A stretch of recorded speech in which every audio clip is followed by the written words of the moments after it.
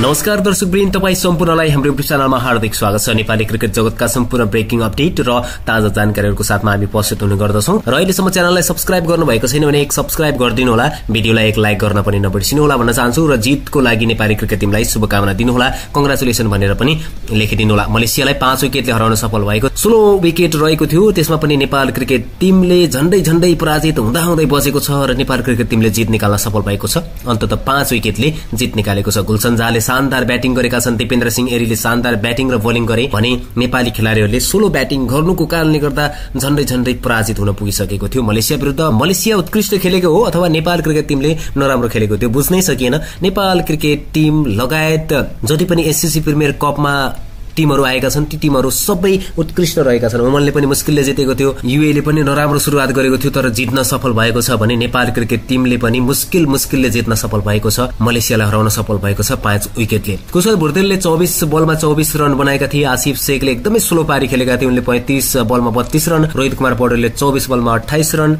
कुशल मल्लले छ बलमा सात रन दिपेन्द्र सिंहरीले एघार बलमा बीस रन बनाए भने सन्दीप जोराले नौ बलमा बाह्र रन गुलसन झाले सात बलमा नै उन्नाइस रन बनाइदिएका गरेका थिए र जित निकाल्न सफल भयो। बलिङ एकदमै उत्कृष्ट रहेको थियो। मलेसियाको बलरहरूले चाहिँ क्या शानदार बलिङ गरे। उनीहरूले एक्स्ट्रा मात्र दुई रन दिएका थिए भने एक सय चौवालिस रनको टार्गेटमा पनि झण्डै झण्डै डिफेन्ड गरिसकेका थिए। तर नेपाली ब्याटरहरूले राम्रो प्रदर्शन गर्न सफल भयो। अन्त्यमा दिपेन्द्र सिंह हेरी र त्यस्तै गरेर सन्दीप जोरा र गुलसन झाले राम्रो ब्याटिङ नगरेको हुन्थ्यो भने सायद नेपाली क्रिकेट टिम आज पराजित हुन सक्ने थियो जस्तो भइसकेको थियो। प्रेमदीप सिंह एक्लैले तीन विकेट लिन सफल भएका थिए भने मोहम्मद वाफिकले एक विकेट लिएका थिए मलेसियाको तर्फबाट। अब नेपालको तर्फबाट बलिङमा शानदार दिपेन्द्र सिंह एरीले प्रदर्शन गरेका थिए। नेपालले पनि एक्स्ट्रा स्वरूप धेरै रन दिएको थिएन पाँच रन मात्रै दिएको थियो तर करण केसीले दुई ओभरमा एक्काइस रन सोमपाल कामीले दुई ओभरमा एघार रन दिपेन्द्र सिंह एरीले चार ओभरमा चौध रन राजवंशीले चार ओभरमा अठाइस रन कुशल भुर्तेले दुई ओभरमा सत्र रन गुलसन झाले एक ओभरमा बाह्र रन अविनाश बोराले चार ओभरमा अठाइस रन एक विकेट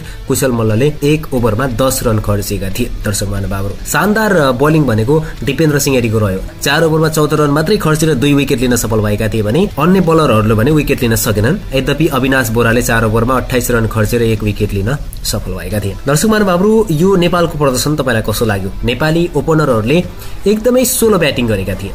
र एकदमै ढिमा पारी उनीहरूले खेले र त्यो कारणले गर्दा नेपाललाई जित निकाल्न अलिकति गाह्रो होला जस्तो पनि भएको थियो। यद्यपि जित जित नै हुन्छ नेपाल क्रिकेट टिमले पाँच विकेटले जित्न सफल भएको छ। अब कतार विरुद्ध रहनेछ कतार विरुद्ध चाहिँ यो खालको प्रदर्शन चाहिँ नहोस् भनेर चाहिँ हामी भन्न चाहन्छौँ। नेपाली क्रिकेट टिमले कतार मलेसिया हङकङ यिनीहरूभन्दा धेरै नै अनुभवी टिम रहे बनेको छ अहिले पछिल्लो समयमा र धेरै नै राम्रो प्रदर्शन गरिरहेको छ। यो खालको प्रदर्शनले अलिकति लज्जास्पद बनाएको कि जस्तो भान भइरहेको छ। हुन त विकेट त्यस्तै नै थियो। त्यस कारणले गर्दाखेरि पनि नेपाली क्रिकेट टिमले सुरुवातमा नै पावर प्लेमा डोमिनेट गर्न सकेन। त्यस पश्चात पनि नेपाली क्रिकेट टिमले जित निकाल्न सफल भएको छ। त्यस कारणले गर्दा नेपाल अलिकति पछाडि नै धकिलिएको थियो। रन रेट एकदमै दस भन्दा माथि नै गइरहेको थियो। नौ भन्दा माथि नै गइरहेको थियो। त्यसकारण नेपाललाई गाह्रो हुन्छ कि भइरहेको थियो। तर पनि नेपाल क्रिकेट टिमले शानदार तरिकाले जित निकाल्न सफल भएको छ अन्त्यमा। र उन्नाइस दशमलव दुई ओभरमा नै नेपाल क्रिकेट टिमले जित निकाल्न सफल भएको मलेसिया विरुद्ध एसएससी प्रिमियर कपमा नेपाल क्रिकेट टिमले जितसँग सुरुवात गरेको छ। अब च्याम्पियन बन्नुपर्छ। यो जितसँगै अब केही सुधार गर्नुपर्ने देखिन्छ।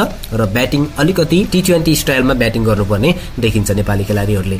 एकदमै स्लो ब्याटिङ गरेका छन्। अब अर्को खेलमा आफ्नो स्ट्राइक रेटमा पनि सुधार हुनेछ। यो चाहिँ हामीले देख्न पाउनेछौँ। हाम्रो सुझाव चाहिँ यही छ। स्ट्राइक रेटमा सुधार होस् र टी ट्वेन्टी स्टाइलमा ब्याटिङ गरून् नेपाली ब्याटरहरूले हाम्रो तर्फबाट यही शुभकामना। बेस्ट ब्लक र कतार विरुद्ध राम्रो प्रदर्शन गर्न सकुन्।